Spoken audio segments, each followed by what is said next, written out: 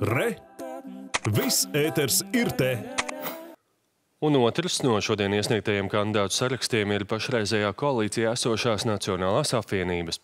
Politiskais spēks uz šīm vēlēšanām nomainījis premjera amata kandidātu ilgi šo lomu pildījušā Roberta Zīles vietā, piedāvājot Siguldas mēru Uģi Mitrevicu.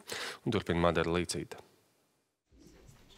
Nacionālā apvienība kā savu galveno mērķi min Latvisku Latviju un vēlēšanām izraudzījusies moto vienā valodā. Partija sola iestāties par ģimenēm un bērniem, sociālu atbalstu palielināšanu, izglītības pieejamību. Nacionālā apvienība ir par obligātu militāro dienestu vīriešiem un brīvprātīgu sievietēm. Nacionālajai apvienībai arī šajās vēlēšanās nav jāmeklē savu identitāti.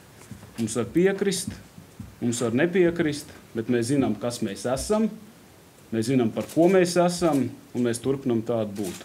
Partija lēmusi ilglaicīgo premjera amata kandidātu Robertu Zīli nomainīt ar Siguldas mēru Uģi Mitrevicu, jo Zīle mesot atbildīgi darba pienākumu Eiropas parlamentā. Mitrevics izraudzīts, jo viņa vadītajā Siguldā netrūkstot labu piemēru, ko savā ikdienā labprāt baudītu visa Latvijas sabiedrība.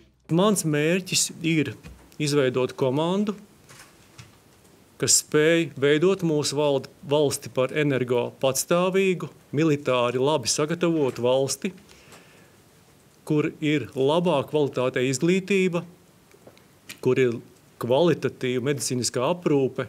Rīgas saraksta līderi būs parlamenta priekšsēdētāja Ināra Mūrniece, Zemgalas sarakstā priekšgalā būs Edvīns Šnore, Latgalē parlamentārietis Edmunds Tērumnieks, bet Kurzemē ekonomikas ministre Ilza Indriksone. Mūsu virziens visiem ir kopīgs, tā ir augoša, latviska, droša vide, droša valsts, un es domāju, ka Tur mums visiem ir viena saprašanās. Deputātu kandidātu vidū bijušais ekonomikas ministrs Jānis Vitenbergs, rakstnieks Rimants Ziedonis, bērnu ķirurgs Dzintars Mozgis, jaunā zinātniece Ieva Siliņa. Es ceru, ka vēlētāji dos mums mandātu un spēju doties uz priekšu, strādāt pie latviskas valsts, pie Latvijas, kurā zinātne un augstāka izglītība tiek cienīta, kur katram bērnam ir tiesības iegūt izcilu izglītību valsts valodā.